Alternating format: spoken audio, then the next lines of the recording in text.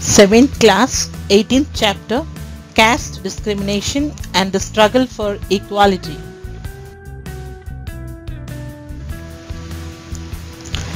children have you seen this type of discrimination in your school or have you seen this type of situation anywhere in the classrooms or anywhere outside the classrooms in your society, in your neighborhood? Nowadays, we are having equality in everything. But 200 years ago, the situations were different. There is lot of caste discrimination.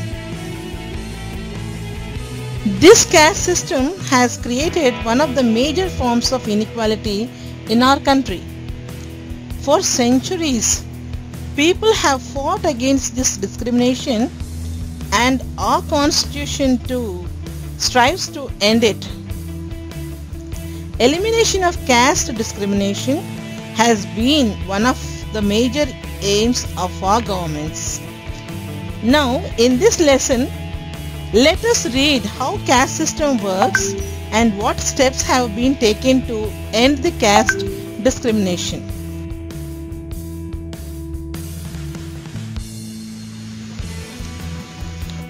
Look at this picture children. You see many colors, different colors for the persons. In the same way in India we have different castes. A large number of people in our country think of themselves as belonging to some caste or the other. They even put the names of their caste as a part of their own names. We have seen some names like Reddy, Naidu, Sharma, etc. etc. like that. Usually, people of a caste follow some common customs and worship a particular deity. Many people who follow the caste rules marry only within their own caste.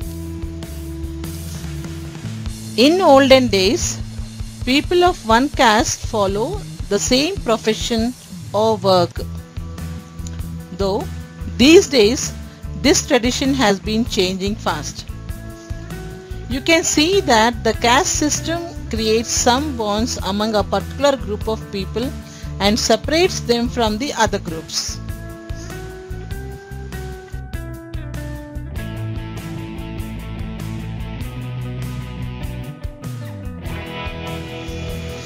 This caste system has given rise to great inequalities and discrimination in our society.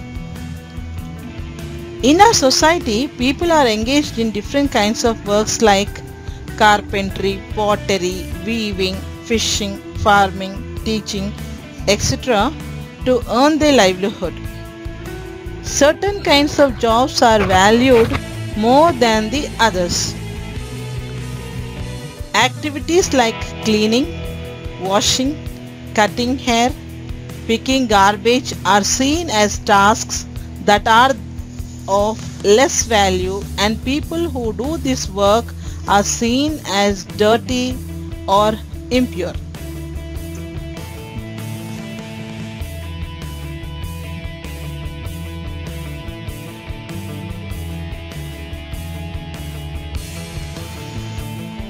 In the caste system, communities, groups of people were placed in a social order where each caste was either above or below the other.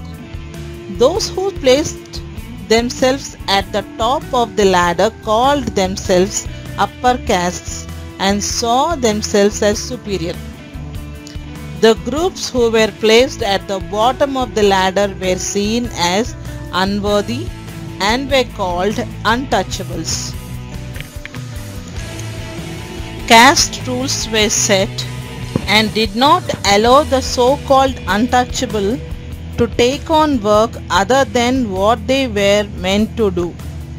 For example, some groups were only allowed to pick garbage and remove dead animals from the village.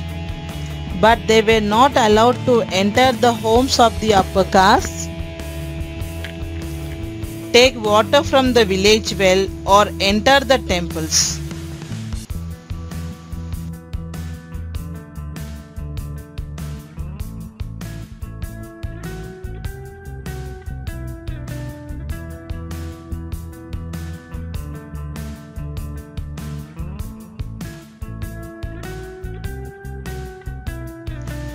The children of the lower castes could not sit next to the children of the other castes in school. Thus, upper castes acted in the ways which did not give the so-called untouchables the same rights as they enjoyed.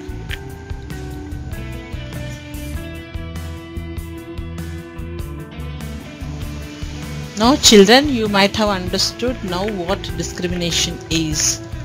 When some people are not allowed to do what they want to do or take up jobs of their choice, it is called discrimination. Let us see some examples of discrimination in the next video. Thank you.